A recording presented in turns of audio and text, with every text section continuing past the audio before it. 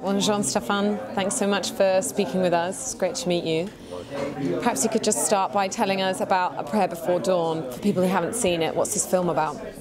The film is about, it's based on true story. It's about Billy Moore. He's a guy from Liverpool who had a kind of uh, addiction to drugs when he was a kid, you know, living in a kind of uh, difficult environment. And he decided to change his life to go to Thailand. And um, he ended up, you know, going back into drugs addiction. And he was a boxer at the same time. And finally, he got arrested and ended up in a Thai prison where he spent three years of his life, you know, and uh, where he found his release, you know, through the boxing inside the prison.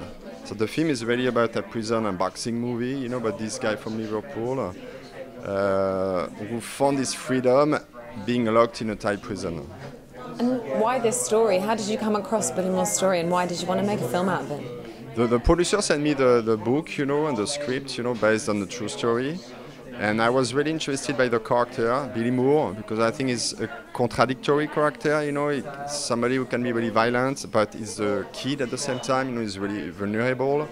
And uh, I thought this story about addiction, prison, and boxing, plus set up in Thailand, you know, it was something really interesting to work on a cinema I kind of like, meaning like an immersive cinema, you know, and uh, I thought like I like shooting in different countries as well and trying to be immersed in different culture. And I thought the Thailand and boxing was something really interested me and um, that's why I decided, you know, to uh, to do this film. And what about the casting process? How did you come come across Joe Cole? It must have been, you know, you had to get the right person in there to, to be able to take on this, this kind of role. Yeah, it's, it's always a long process, a casting, you know. But with Joe, we have the same agent in the US, Ilan Ruspoli, you know, at CAA, and Ilan told me about Joe. And first, you know, when I saw his pictures, you know, I thought it's interesting because he really looks like the real Billy Moore, you know. Plus, he was from UK, and it was important for me to have an actor from UK, you know. And then I watched like two films, Offender, which he did, you know, uh, like four years ago, where he's playing uh, young prisoners in a juvenile detention center, and when you can see already, you know, the kind of rage he can have, you know, the kind of violence, you know, he can have. And he did also a short film called Slap, when he's doing a boxer, you know, put makeup and become a woman. And so, so you couldn't see also the vulnerability of Joe playing these two like different characters. And I thought he was perfect, you know, for playing Billy Moore because he had these two uh, face, you know, the character, the vulnerability and the violence. So I'm really happy about this choice, you know, and uh, that's how we end up doing the film together. And then he was really brave, you know, on set because it's not an easy shooting for him. You know, it's a really physical film. So he came in advance. You know, he rehearsed. He did like boxing uh, training in a boxing camp in Thailand, and uh, every day he was kind of really uh, into it. You know, and he was also like he's almost the only uh, professional actor in the film. I work with only non-professional actors in Thailand, so who don't speak English who have the experience of the prison because they're all former prisoners, boxer former prisoners, or ladyboy, or all the people in the film are real people, I mean non-professional, and they're talking about their own life, their own experience of life. So for Joe, you know, when you come like this on a set, you know, when you are surrounded by 50 tattoo guys from gangs and stuff, you are really immersed and it's interesting also for an actor, I think, and I was part of my plan, you know, trying to immerse him, you know, in this kind of environment to be able to play, you know, and feel what Billy could have felt, you know, uh, when uh, he ended up in this prison, you know, not speaking the language and uh, trying to survive in this kind of environment.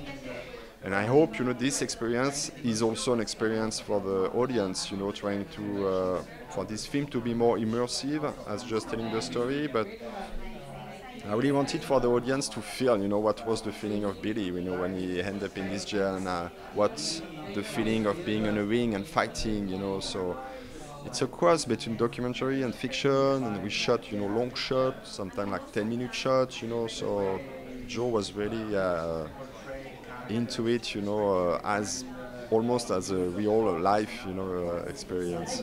So it's sort of beyond realism, almost into sort of reality kind of documentary. Yeah, because I, I, like the authenticity in a story. You know, I think if you have to tell a true story, if you have to tell a story in a prison in Thailand, it can't only come from my mind, you know, my imagination. I think like all these people from prison, the former prisoners, you know, they had this kind of experience of prison, and they helped me a lot, you know, for this film to be authentic and realistic.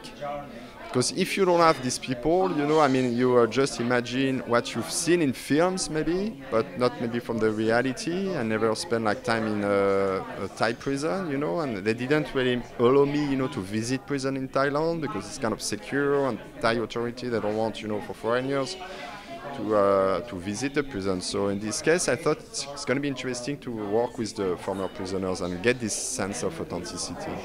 And what has the reception been so far, and what do you expect people to take away from it? Do you think it's going to be quite different here as it might be over in Thailand, for example? We'll see in Thailand, but yeah, so far we have a good reception. You know, the premiere was in Cannes Film Festival, and then we're here in the uh, UK. And um, we'll see in Thailand, you know, how is going to be the reaction, but I can understand for Thai, you know, maybe it's difficult to see this kind of image of Thailand because they prefer to show, you know, the beach and the people smiling and stuff. But I think it's also interesting. And for me, it was not to point, you know, the fact that prison in Thailand are terrible, as are the worst. But it was just like a prison. It's uh, not really a nice environment.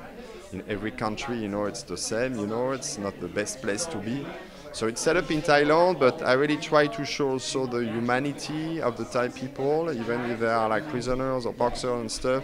Wanted to show this yeah, humanity of each of them, and uh, and for me, it gives also an image interesting of the Thailand. Uh, something I like because I really love working with these people and showing this kind of uh, uh courage and brave people they are, you know. Also.